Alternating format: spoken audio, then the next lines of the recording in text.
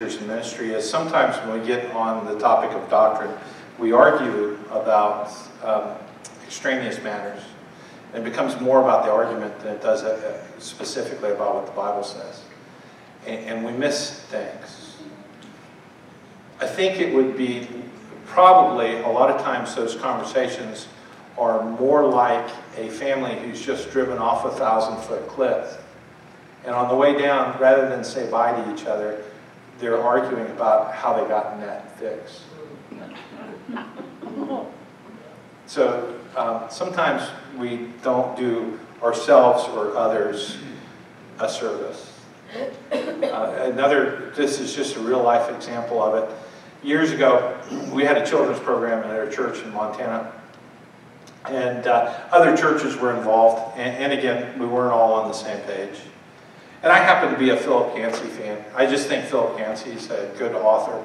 And some of the topics that he writes about, and one of those issues has to do with doubt and just questioning um, where you are in your faith, uh, that sort of thing. He's known for that. Um, and he writes very compellingly. And I think he fits a segment of society that does struggle sometimes. But he's talked about the victory more than he has the struggle. And, uh, and so I'm, I'm, mentioning Philip Yancey's name, and he's, um, he's definitely not in the camp that these guys were in. And the, one fellow practically cursed that Philip Yancey was basically a heretic. Hmm. Uh, I think that's, that's an issue when we get to that point. Um, let's take and open up Scripture. And let's try and make it speak for itself as much as we possibly can. By the way, I think Mark Moore did an excellent job on the essay this week. So if you haven't read it, read it. So John 10, 28. I give them eternal life, and they will never perish, and no one will snatch them out of my hand. Uh, that, by essence, is uh, the doctrine of eternal security. That's where they point to. But I think we need a little bit of context. And we're going to go and we're going to look at, the, at, at, a little section of John chapter 10. Now remember what's going on in John chapter 10. At the early part of the chapter, Jesus has been dealing with the Jewish leaders and they're not on the same page. And, and specifically, the Jewish leaders are guilty of stealing, really, the faith of God from the Jewish people. They've been it's not, and it's not just the Pharisees, it's also the Sadducees, the, the priests and the Levites, they, they haven't been faithful. And, and the Jewish leadership, which should have been taking care of the Jewish people, haven't been. So Jesus teaches this phenomenal section of Scripture where he portrays himself as the Good Shepherd. And most of us know it, or at least we've heard of it. Now, when we get to verse 22, there's a little bit of a shift and, and, well, let's go ahead and look at it. So then came the festival of dedication at Jerusalem. It was winter, and Jesus was in the temple courts walking in Solomon's colonnade. So, so obviously there's a shift in time. But notice what happens next. The same theme comes up. The Jews, and when John says the Jews, when he writes that, he is almost always talking about the Jewish leaders. He's not talking about the Jewish people in general, but when he uses that the Jews, he's referring specifically to the Jewish religious and cultural leaders, predominantly uh, religious leaders. The Jews who were gathered around him saying, How long will you keep us in suspense? If you are the Messiah, tell us plainly. Now, this is a laugh, isn't it? If, if you're a student of Scripture and you're paying attention to this chronologically, and, and for those of you who are visiting, we do have an adult Bible study and we've been going through the life of Christ. What's ironic about this question is he already has answered that question. He's already testified that he's the Messiah, that he's the Son of God. He's already gotten in trouble multiple times, uh, but something's going on inside of them. They, for some reason, these guys just can't accept it. And, and um, so they're in suspense. If you are the Messiah, tell us plainly. Uh, notice how Jesus answers in verse 25. I did tell you, but you do not believe. Want to know what's going on? They just don't believe. By the way, just one little side note is, uh, they probably didn't believe because he wasn't the Messiah they had pictured. Uh, things weren't going to continue the way they wanted. There's all kinds of arguments that you can make, but they just chose not to believe. They ignored him. Uh, but you do not believe. That's a very accurate charge against them. The works I do, Jesus says, in my Father's name testify about me. And that's also very true. He proved himself to be the Messiah by miracles, wonders, and signs, Scripture tells us. But you do not believe because you are not my sheep. So you see, he's returned to that shepherd and sheep thing. My sheep listen to my voice. I know them and they follow me. I give them eternal life and they shall never perish. No one will snatch them out of my hand. What a great passage, isn't it? But remember what it is in context. Now, I, I, thought, as I was reading, as I was preparing for this, I, I really thought two quotes by Mark Moore are really important. Because he does, he, he just kind of uh, deals with the issue of what we call today Calvinism versus Arminianism, and he deals with it, uh, but he deals with it from the scripture point of view. And he's, he's already outlined in the essay several different passages that highlight this issue of security. And, and he says this, so there we have it. Two constellations of Scripture that appear to be in conflict. He's not saying they're in conflict, he just says it has the appearance. The first cluster assures us that we're secure in Jesus. There's no doubt about that.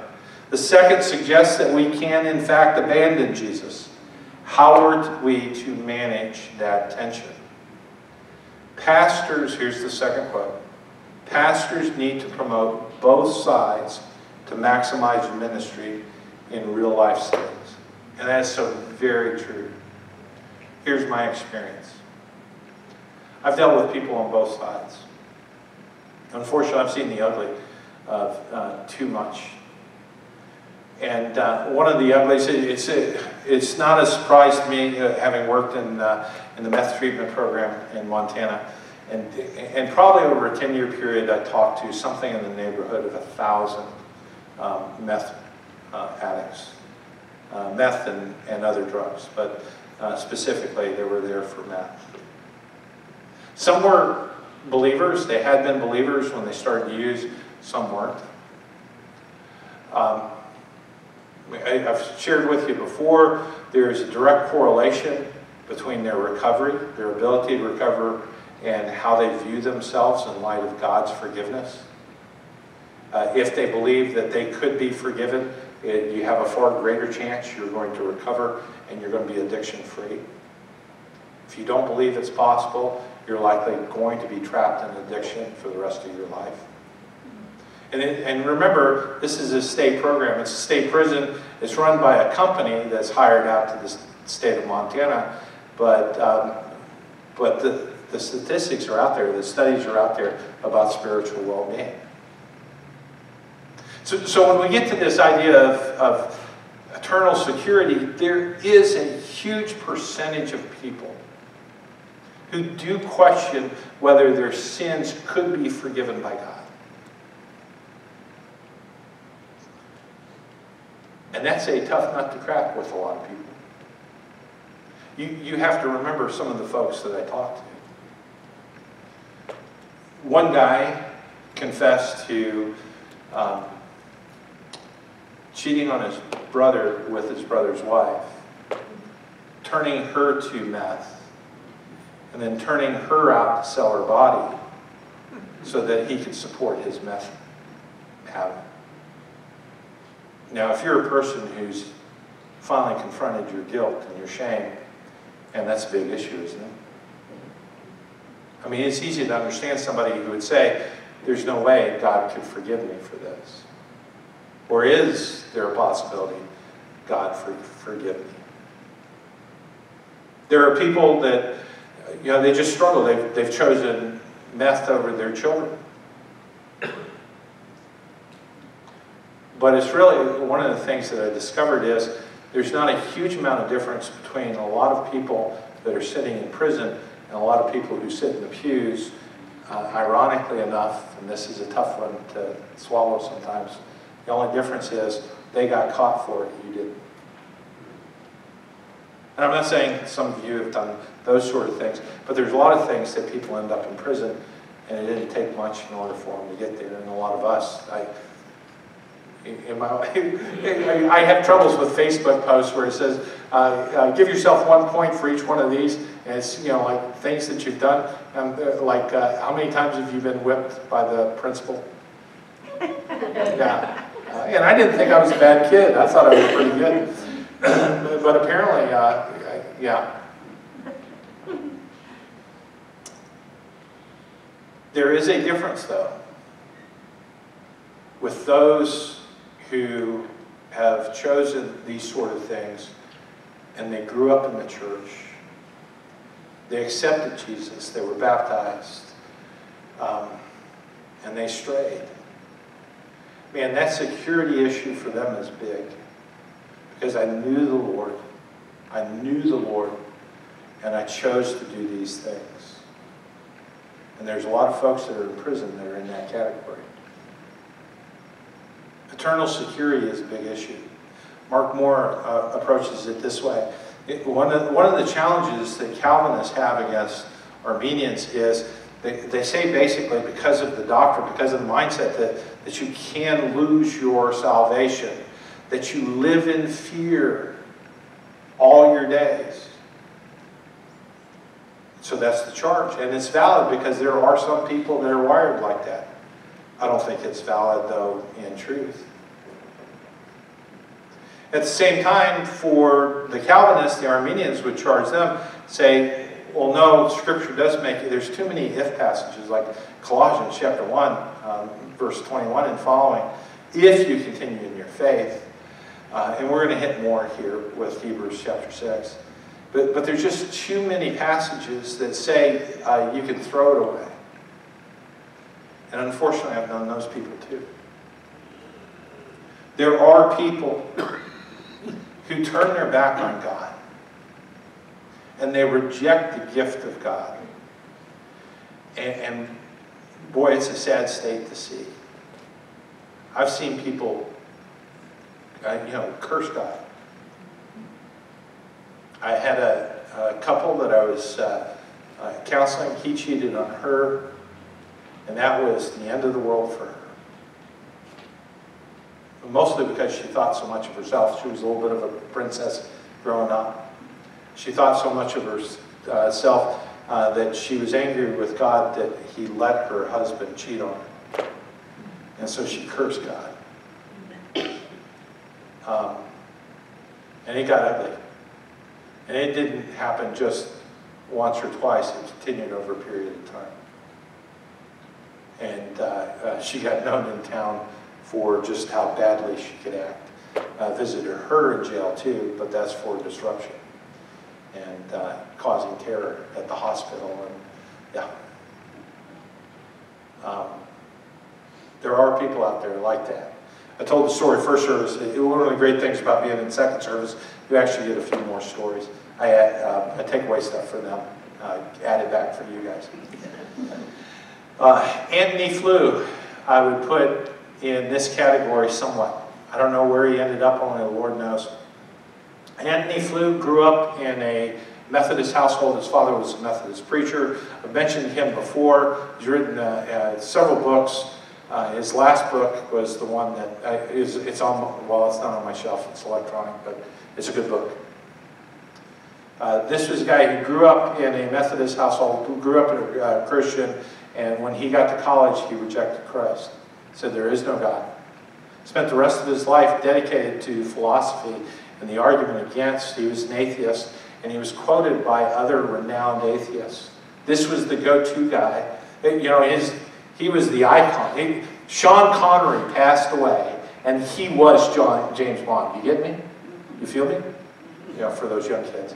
Um, You know, he, he, wa- if you were my generation, Sean Connery was James Bond. Antony Flew was this generation's atheist. He was that big. And he uh, traveled all over the world, and he just combated Christianity in particular. He rejected God in a big way. And in the end of his life, he made friends with a couple of people. One of those is uh, this unknown preacher named N.T. Wright. And uh, became friends with him, and his life was a different arc. And so he wrote a book about coming back to God. And he says, I now believe there is a God. And that was the title of the book. There is a God. And he said in, in uh, the final chapter of his book, he says, uh, if I had to argue for a God, I would probably lean towards the Christian God, but he thanked N.T. Wright for that. He says, I just wish my father had lived long enough to see this transition take place. So all of that said, um, how secure are we in our faith? Um, do we need to